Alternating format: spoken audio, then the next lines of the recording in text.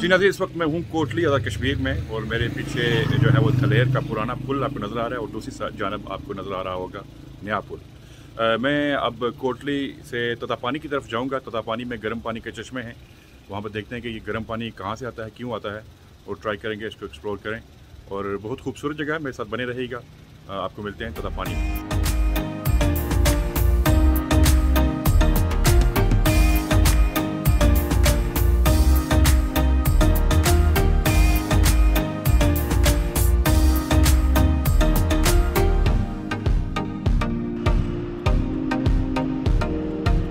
जी, हम तथा पानी की तरफ़ जा रहे हैं। रास्ते में एक बड़ा खूबसूरत मंजर मुझे नज़र आया तो मैंने सोचा आपके साथ शेयर कर दूँ।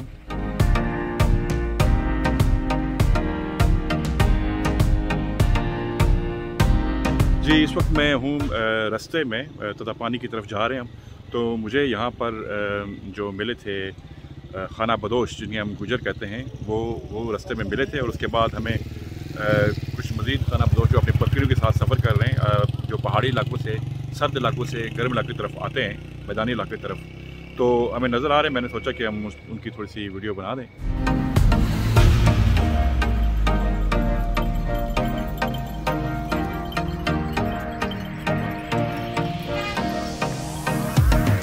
ये सारा साल आप कह सकते हैं ट्रैवल करते हैं, सर्दियों में, सर्द इलाकों से, गर्म इलाकों की तरफ़ और गर्मियों में सर्द इलाकों की तरफ़।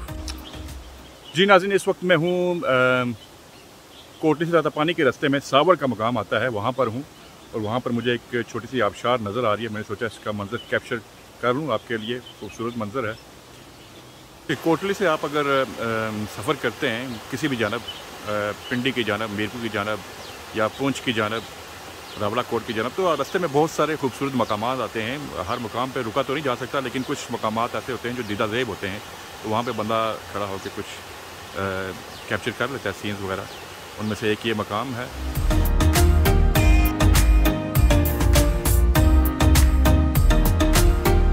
और ये तदा पानी का बाज़ार है इस वक्त हम तथा पानी के बाज़ार में हैं।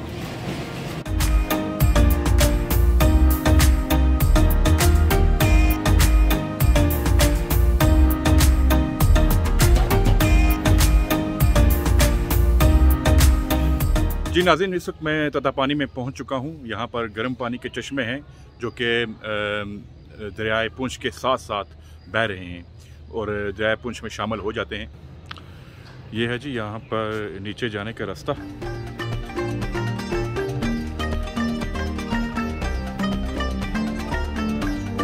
यहाँ पर रेस्टोरेंट भी है, मैंने देखा है, अभी शायद खुला नहीं है, सुबह का टाइम है। तो जब देखेंगे कोई चाय वगैरह वहाँ वहाँ पी सकते हैं, खाना वगैरह भी खा सकते हैं वहाँ टूरिस्ट के लिए अब यहाँ पर पार्क भी बनाया गया पर इसे काफ़ी बेहतर है। देख सकते हैं यहाँ पर। अच्छा पार्क है वैसे, शाम यहाँ पर अच्छी गुजारी जा सकती है यहाँ। और ये है जी दरिया की तरफ़ जाने का रास्ता, और यहीं पर चश्मे हैं गर्म पानी के। नजन, ये है गर्म चश्मे का पानी, जो कि आपकी गंदक की जो सल्फ़र है, उसकी बू भी यहाँ पर महसूस की जा सकती है। और ये पानी देखिए, उबल रहा है जगह जगह से। और ये है गर्म पानी के चश्मे। तत्ता पानी इसको कहा जाता है। कोटली में, कोटली से तकरीबन मेरे ख्याल में थोड़ा आधे घंटे की मसाफत है यहाँ से। तो ये जगह जगह से पानी उमड़ रहा है। अनफॉर्चुनेटली यहाँ पर देखें शॉपिंग बैग वगैरह पड़े हैं जो होने नहीं चाहिए। माहौल की आलूगी का बायस बनते हैं ये। और ये लोगों को देखना चाहिए, अपने माहौल को साफ़ रखना चाहिए। अगर यहाँ पर लोग आते हैं तो एक अच्छा इंप्रेशन नहीं पड़ता यहाँ पर कि जो शॉपिंग बैग्स पड़े हैं यहाँ पर।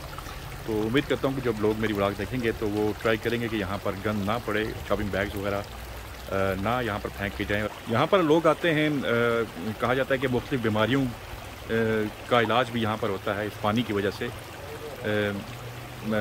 जिन लोगों को हड्डियों की, हड्डियों का दर्द होता है या स्किन का जो मसला होता है ज़्यादातर, वो लोग यहाँ पर आते हैं और यहाँ पर बैठते हैं इस पानी में और भाप लेते हैं या गर्म पानी जो है उसमें पाँव रखते हैं या अपने साथ लेके जाते हैं और घर में उसी पानी से नहाते हैं। तो ये ये जो है ये पानी शफा बख्श भी है, कहा जाता है।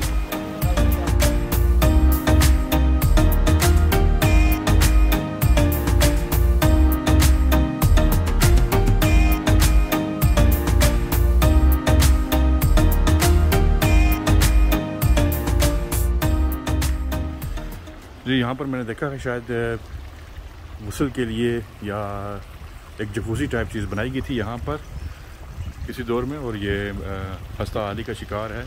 यहाँ पर दरिया जो है वो जब बहुत ज़्यादा आता है पूंछ दरिया तो फिर वो हर चीज़ को बहा कर ले जाता है जिसकी वजह से यहाँ पर एक परमानेंट आप किसी किस्म की जो है ना वो कंस्ट्रक्शन या कोई इस किस्म की फैसिलिटी मुहैया नहीं कर सकते।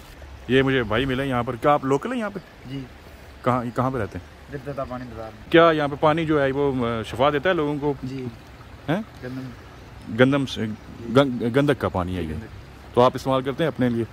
नहीं इधर इधर ऊपर करते हैं तो आपने कभी इस्तेमाल किया कोई फ़ायदा हुआ उसका? नहीं होता है बहुत। खारिश हो तो आदमी ठीक हो जाता है तो आपने खुद कभी इस्तेमाल किया? जी मैंने भी एक बार इस्तेमाल खारिश थी।